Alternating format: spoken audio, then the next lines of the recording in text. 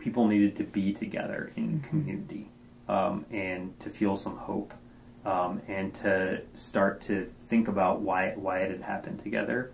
Um, and so the goal of the meeting was really just a place for people to process that and to um, to find some community for people that are, were feeling isolated or alone in that in that moment because I know a lot of people were feeling like that. A lot of people feel that they've been left out of the political process and they're not being represented properly by the people who are supposed to be representing us. Well, I've been talking to a lot of people. They have voices, but yet they don't vote. We need the votes. We need your voice. We need to be heard. If a situation is not right, that's what they do. You vote on it. I guess we're just gonna wait for um, Congressman Smucker to um, decide to present himself and speak with the people who put him there in that position.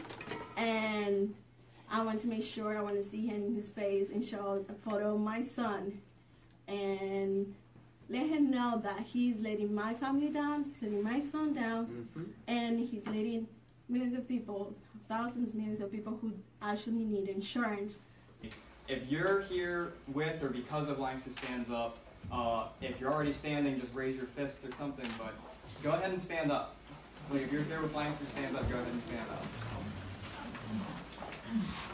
let's bring our community together to change things. Let's like figure out a mission and and work with each other to to guide our our collective work. Um, and just seeing like the cultural shift throughout the entire county um, and the sort of like change of the center of gravity in, in terms of like political and social power and the way people think of it.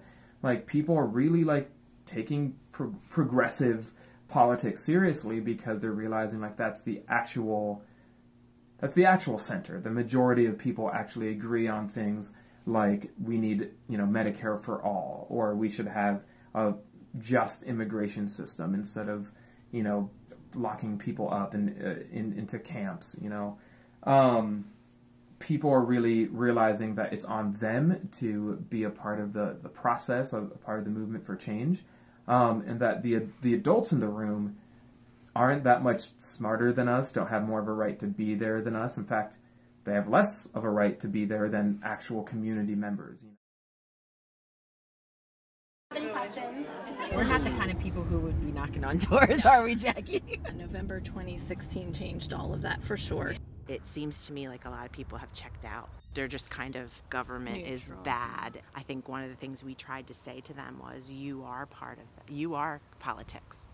And then that's kind of been a new revelation for me. that- If uh, I can get out here and do this on this, uh, then I think anybody could probably do it.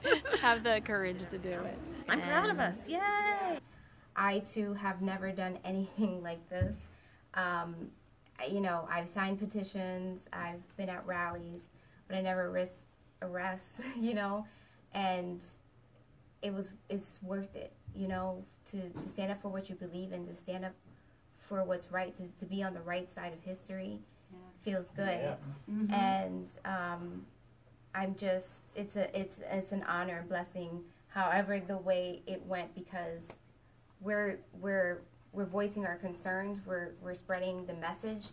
Keep calling. Keep keep um, yeah. Keep contacting your uh, your elected officials, especially Congressman Smucker and Scott Martin. Um, keep keep keep it up because it's they're not going to stop. So we can't stop. We have to keep the momentum going. So whatever that reason is that that that becomes that flame in your belly that inspires you, remember that.